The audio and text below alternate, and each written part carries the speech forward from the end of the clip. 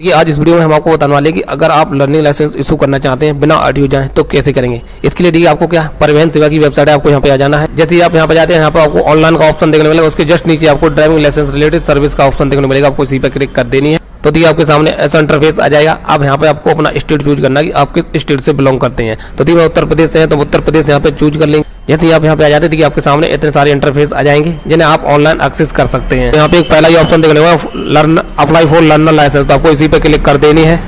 और यहाँ पे आपके सामने ऐसा इंटरफेस आ जाएगा, देखिए, आपको सात फॉलोइंग स्टेज है, आपको इन्हें फॉलो करना है, उसके बाद आपको यहाँ पे कंटिन्यू कर देना है। तो देखिए अगर आप फ्रेश लर्निंग बना रहे हैं, यानी पहले आपने कभी अप्लाई नहीं किया तो आपको फ़र्स्ट वाले पे रहने देना और यहाँ पे सबमिट कर देना है। अब यहाँ पे देखिए, आपको दो ऑप्शन देखने मिलेगा सबमिट बाई आधार अथेंटिकेशन और सबमिट विदाउट आधार अथेंटिकेशन अगर आप विदाउट आधार अथेंटिकेशन करेंगे तो आपको आरटीओ विज़िट करना होगा और सबमिट बाई आधार अथेंटिकेशन करेंगे तो आपको आरटीओ जाने की ज़रूरत नहीं पड़ेगी। इसके लिए आपको अपने आधार कार्ड पर मोबाइल नंबर लिंक होना ज़रूरी है तो आपको इस पर टिक कर देनी और यहाँ पे सबमिट कर देना है और यहाँ पे आपको ओके कर देना है। अब यहाँ पे दो ऑप्शन मिल जाएँगे, एक वर्चुअल आईडी का और दूसरा आधार नंबर का। तो आप यहाँ पे आधार वाले पे टिक करें और जो भी आधार नंबर है, आपको यहाँ पे डाल देना है और जनरेट ओटीपी कर देना है ओटीपी आपके मोबाइल पर रजिस्टर्ड मोबाइल है उस पर जाएगा यहाँ पे डाल देना इन तीनों टर्म एंड कंडीशन को एक्सेप्ट कर लेना और यहाँ पे अथेंटिकेट कर देना है तो देखिए जो भी आधार की आपकी डिटेल है वो ऑटोमेटिक यहाँ पे कैप्चर कर ली जाएगी आपको कोई चीज़ यहाँ पे फिलअप नहीं करनी है केवल आपको यहाँ पे प्रोसीड वाली बटन है आपको इस पे क्लिक कर देनी है तो देखिए यहाँ पे जो भी डेटा है वो सारा आधार बेस कैप्चर कर लिया गया आपको यहाँ पे सिर्फ़ यहाँ पे आपको क्वालिफिकेशन सबसे पहले आपको चूज़ करनी है आप हाई स्कूल इंटर जो भी है आप यहाँ पे चूज़ कर लें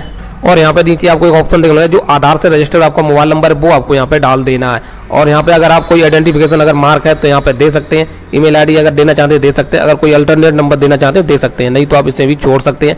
यहाँ पे आपको अपना मोबाइल नंबर ज़रूर डाल देना है। उसके बाद देखिए, थोड़ा आपको नीचे स्क्रॉल करके आना है। अब देखिए, यहाँ पे आपको एड्रेस का ऑप्शन देखने को मिलेगा। सबसे पहले आपको अपनी तहसील चूज़ करनी है। आप ग्राम एरिया से हैं या फिर टाउन एरिया से, यानी शहरी एरिया से तो गाँव एरिया से हैं तो विलेज पे ही रहने देना। और यहाँ पे आपको अपना अपना गाँव जो भी लगता है, वो चूज़ कर लेना है। उसके बाद आपको थोड़ा नीचे स्क्रॉल करके आना है। अब देखिए, यहाँ पे नीचे आ जाएँगे तो यहाँ पे देखिए, आपको किस तरह का लाइसेंस इशू कराना है तो आपको यहाँ पे चूज़ करना है। देखिए, आपको ध्यान रखना है motorcycle without gear non transport आपको ये चूज़ नहीं करना है। और आपको एक ऑप्शन मिलेगा motorcycle with gear non transport देखिए, सबसे पहले आपको इसे चूज़ करना और इस वाली बटन पे एरो पे टिक कर देंगे तो देखिए, इधर आ जाएगा।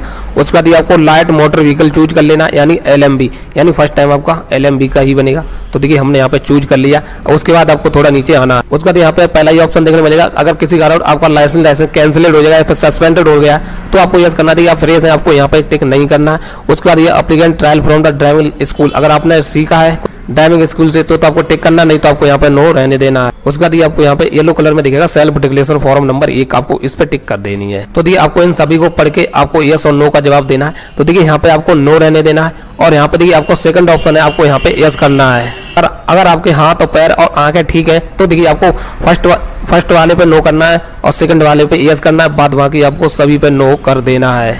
उसके बाद आपको टर्म एंड कंडीशन को एक्सेप्ट कर देना, यहाँ पे सबमिट कर देना और यहाँ पे आपको ओके कर देना है। उसके नीचे देखिए आपको एक ऑप्शन देखने को मिलेगा। यहाँ पे यहाँ पूछा जा रहा है कि अगर बाई चांस आपको किसी कारण एक्सीडेंटल केस हो जाता है, उस कंडीशन में अगर आप कोई अपना पार्ट डोनेट करना चाहते हैं तो यस करना है, अगर नहीं करना चाहते तो आपको नो कर देना है।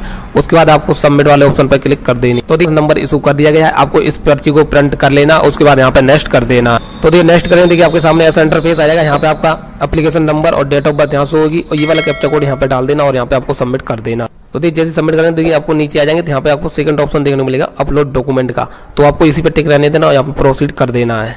उसके बाद आपके सामने यहाँ पे डिक्लेरेशन फॉर्म आएगा, आपको इसे टक कर देना और यहाँ पे आपको ओके कर देना है। तो देखिए, आपको नीचे आएँगे तो आपको सामने एस सेंटर पेज आ जाएगा, यहाँ पे आपको डॉक्यूमेंट का ऑप्शन देखने को मिलेगा। यहाँ पे देखिए एज प्रूफ है एड्रेस प्रूफ तो आपको सबसे पहले एज प्रूफ चूज़ करना है और यहाँ पे देखिए, अगर यहाँ पे आपको पास हाई स्कूल की मार्कशीट है वो लगा सकते हैं। इंडियन पासपोर्ट है, वो लगा सकते हैं। बर्थ सर्टिफिकेट है, वो लगा सकते हैं। वोटर आईडी कार्ड या फ़ोटो आइडेंटी कार्ड इशू कोई सेंट्रल स्टेट द्वारा अगर आप इशू है, वो लगा सकते हैं। या फिर आप आधार कार्ड देखिए, अगर आपने हाई स्कूल किया है या फिर अगर आपके पास हाई स्कूल की मार्कशीट नहीं है या फिर आपके पास बर्थ सर्टिफिकेट भी नहीं है तो देखिए, आप यहाँ पे आधार कार्ड चूज़ कर सकते हैं, क्योंकि अगर आप यहाँ पे आधार कार्ड अपलोड कर देंगे तो आपको दूसरा डॉक्यूमेंट अपलोड करने की ज़रूरत यहाँ पे नहीं पड़ेगी।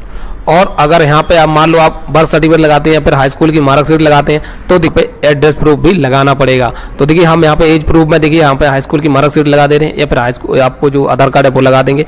और यहाँ पे डॉक्यूमेंट नंबर अगर आप मार्कशीट लगा रहे हैं तो मार्कशीट का डॉक्यूमेंट नंबर डाल दें। या फिर आप आधार कार्ड लगा रहे हैं तो आधार कार्ड नंबर डाल देना है। इशू वाई अगर आधार लगा रहे हो तो आपको यू डी डाल देना है और अगर आप मार्कशीट लगा रहे हैं तो आप यूपी बोर्ड डाल सकते हैं। उसके बाद इशू डेट कब हुई बोर्ड तारीख यहाँ पर डाल सकते हैं, नहीं तो कोई दिक्कत नहीं नहीं भी डाल सकते हैं।